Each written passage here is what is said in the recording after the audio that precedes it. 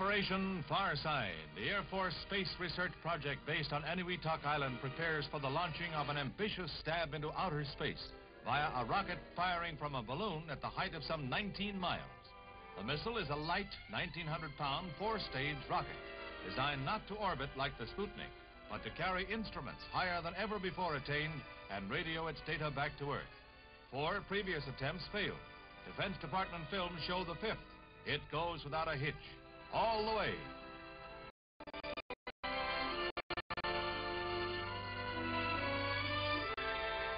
Purpose of firing from the balloon is to blast off in rarefied atmosphere at a height where air friction is at a minimum.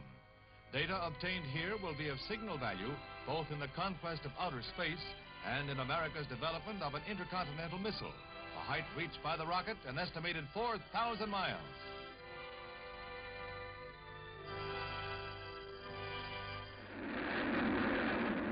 Man's farthest stride into outer space.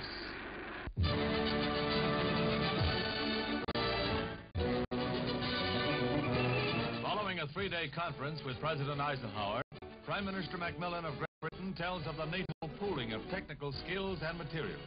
He also gives an emphatic statement of free nation aims.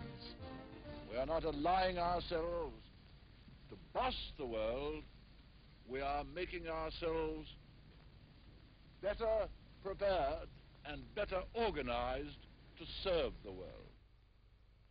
The first International Atoms for Peace Award is made by President Eisenhower, a gold medal and $75,000 honorarium to Niels Bohr, Denmark's leading citizen and the world's foremost nuclear scientist. New honors for a living legend of science.